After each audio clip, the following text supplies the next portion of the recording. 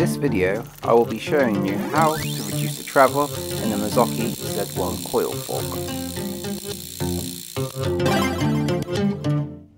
So part 5 of the Beefy Max build. This is my Z1 coil. As standard when I bought it, it came at 170 millimeters of travel. What I need to do is swap some spacers around in the coil side uh, to reduce it down to 150. The Beefy is designed to run 160 to 140, so running just Z1 coil at 150 will be perfectly optimal for this frame. So the first thing I'm going to do is I'm going to clamp the fork in a work stand. It makes the fork easy to work on, plus it makes it easy to put a bucket or a bowl beneath to catch any oil dribbling out the fork. Starting at the bottom of the fork, the first thing we're going to need to do is remove this cover from the rebound knob.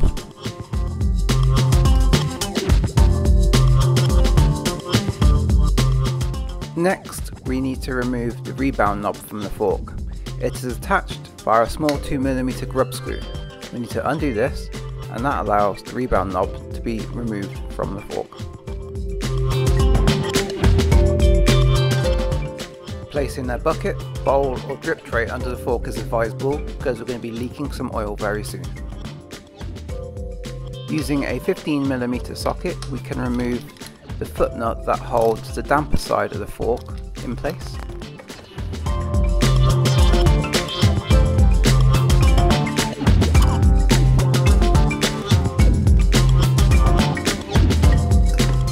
I like to collect all these parts in this park tray so not to lose them. Next, using a 10mm socket, we can remove the foot nut from the spring side of the fork.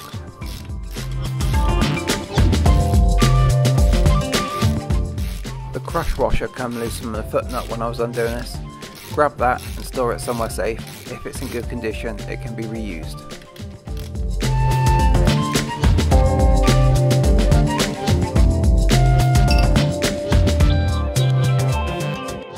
Bit of a hack next. We need to tap the lowers away from the uppers. So instead of tapping directly on the through rod, we can use a very small socket to reach around onto the threaded bit and tap the damper rod up into the fork. And as you can see, oil went everywhere, so make sure you have that drip tray handy and some paper towel and rag to mop up any spillages. The spring side isn't so vulnerable, so you can just tap it if you have a very soft mallet to release the lower legs from the upper legs. The lower legs are now free from the upper legs, so you can just pull them off. And I like to place them in the bowl at this point in time, so let them drip out completely and not cause a massive mess.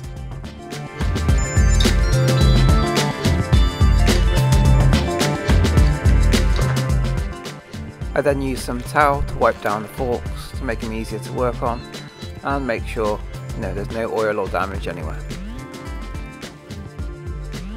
Next we need to remove the coil spring from the fork. There's a proper Fox tool to do this which is a flat edge socket but I don't own one. You can use an adjustable spanner like me, I wouldn't recommend it but if you're very careful you can get away with it. it's very slow and tedious though.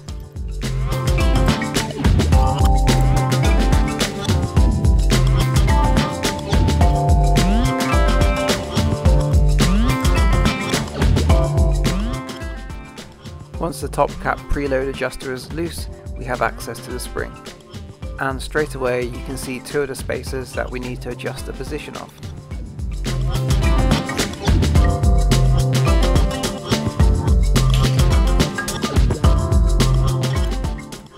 At this stage you can remove the spring from the top of the fork if you want.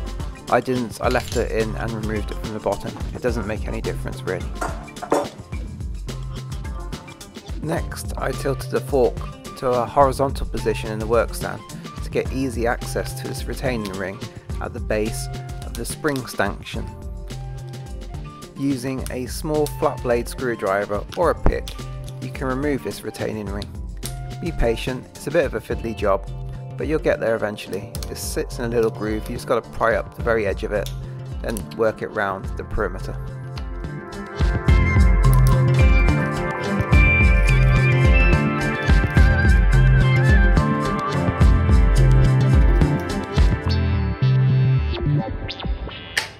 Once the retaining ring is removed, a quick pull on the rod removes the spring assembly from the stanchion tube. Make sure you have some rag around you at this point in time as it's very greasy and oily and you don't want it falling over everything.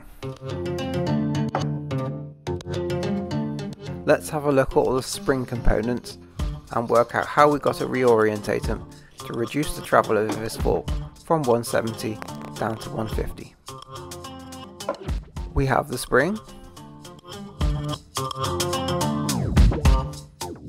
the spring shaft with the bottom out bumper. This lives at the bottom of the spring.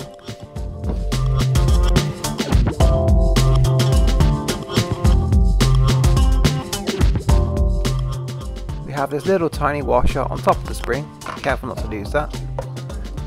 We then have these two plastic isolators that surround the spring to stop it rattling around against the fork stanchion.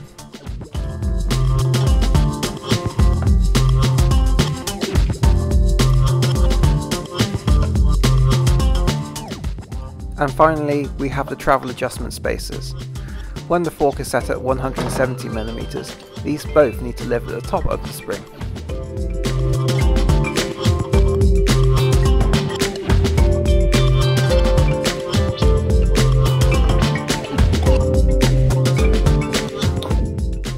But I want 150mm of travel from this fork, so they need to live between the bottom out bumper and the top out spring.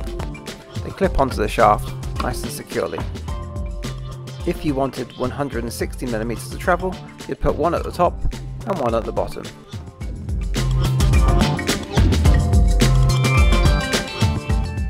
With the travel adjustments made, it's time to grease up the assembly and reassemble the fork. I use this Sendek grease, I've had it ages, you buy one of these little pops as suspension grease and they last you for years, so liberally apply it absolutely everywhere. With the lower spring assembly thoroughly lubed up, we can insert it gently into the uh, spring stanchion and slide it into position.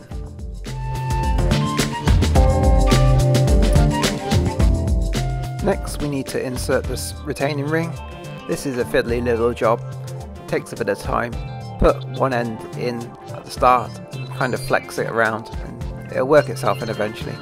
So it's one of those fiddly little jobs that if you're not done before, it takes a bit of a wiggly technique.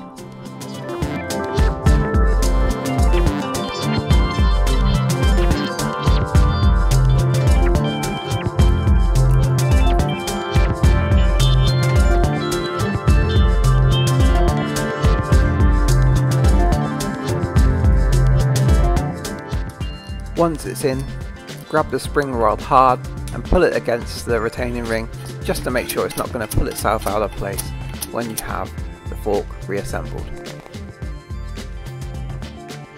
Smear a bit more grease around the spring, this will help keep it quiet in the fork and make sure it doesn't scratch or damage anything. Once it's thoroughly lubed up, you can reinsert the spring into the uppers, paying attention to the orientation, making sure that little spring washer is at the very top of the spring.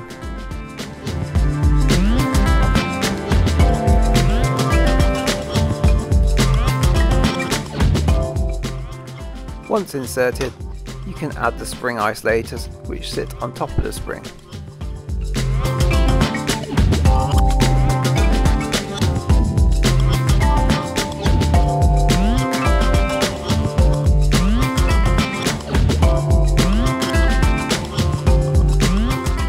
Once this is all in position, add 5 cc's of 20 weight oil into the spring side compartment.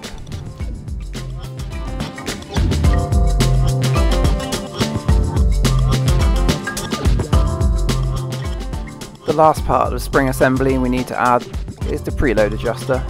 Uh, so make sure it's all wound to negative. Screw it in by hand very carefully, making sure you're not cross-threading. Get as far down as possible by hand. Then, if you got the socket, use the socket, it's much easier. I don't. So again, I'm going to be getting my adjustable spanner out and taking an edge, screwing this back down.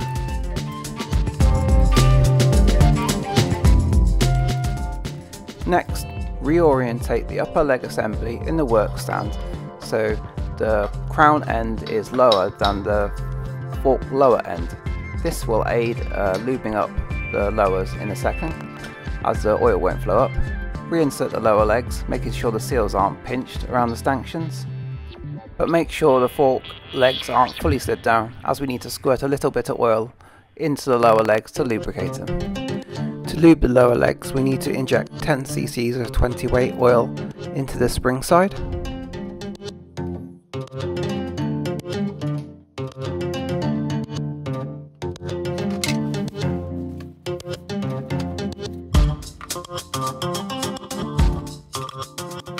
And on the damper side we need to inject 40 cc's of 5 weight oil.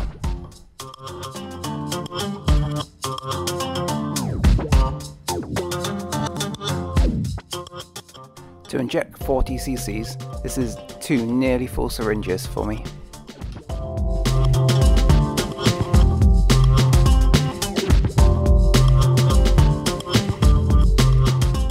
The lower legs full of oil, wipe away any excess that might have uh, leaked out a touch from the syringe and we're good to move to the next step which is to fully sit down the fork and make sure the threads are exposed so we can secure the lower legs to the upper legs.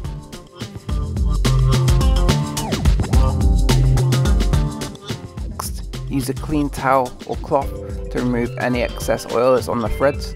We don't want these to be oily as it effectively increases the torque that the bolt has on the lower leg of the fork. So we want them to be pretty much normal and dry.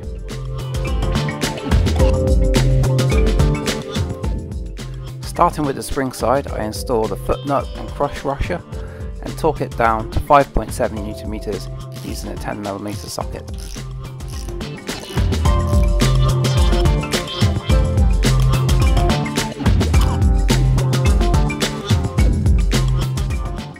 Moving on to the damper side, repeat the process, install the foot nuts and the crush washer, but this time torque to 16.9 newton meters.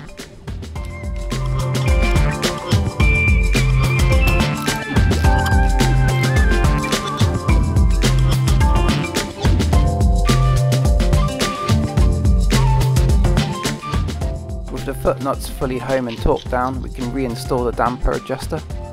This uses a 2mm hex key uh, just don't do it very super tight, it doesn't need it, it just needs to be locked down against the flat of the adjuster on the damper rod.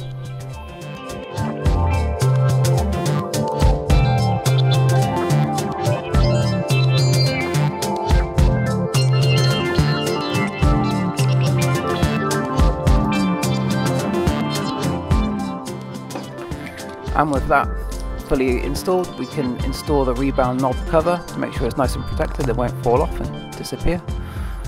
Wipe down the fork, make sure there's no excess oil floating around it to you know, trap dirt and make it look ugly, and we're pretty much done.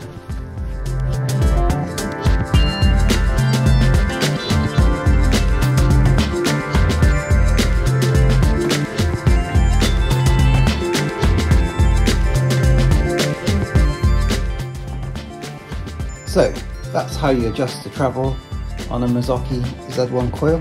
It's relatively easy. If you can't find the exact fork you want to buy straight from the factory or retailer or online, you can dive into the fork, edit around the spaces and change it from 150 to 170 or 170 to 150 or to 160 or any of the variations you want. Relatively easy. The only excess you really need to buy is a uh, 20 weight and 5 weight oil if you have the tools. So this is ready to go, get installed in that, which will be the next part of Project Beefy. I'll see you then. Thanks for watching. Cheers.